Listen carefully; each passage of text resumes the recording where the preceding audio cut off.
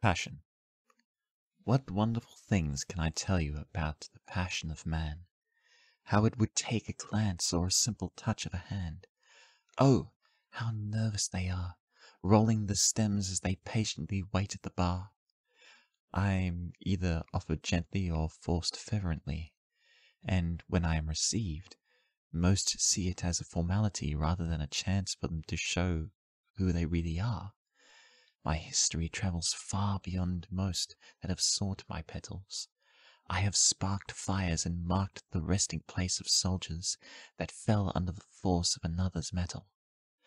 I have carpeted the halls of cathedrals and lost count of the curtain calls.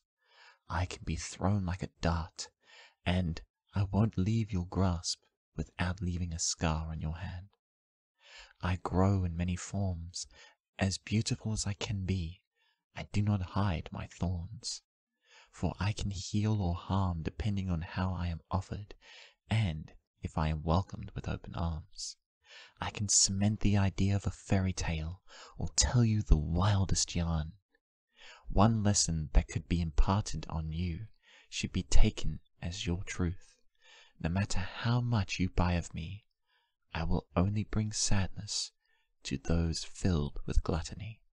My gift is to be given and received, not taken on one side and cast out to sea. See me for what I am, and not what you perceive me to be. I am not love. I am the passion that sparks the bond beneath. Love binds, but I spark. I am not the roaming fire, but I am where it starts. I reside in all hearts, and I only present myself when fools try to look flawless. Regardless of confidence, you have to offer me only to receive the gift of progress. I will see you in fields, in churches, in empty streets, and at the end of long searches. I will be there when you wish to explain with actions when words fail. Though I may not be playing on your team, I do hope that you will win after all.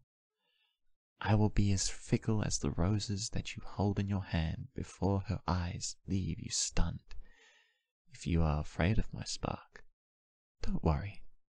You are not the only one.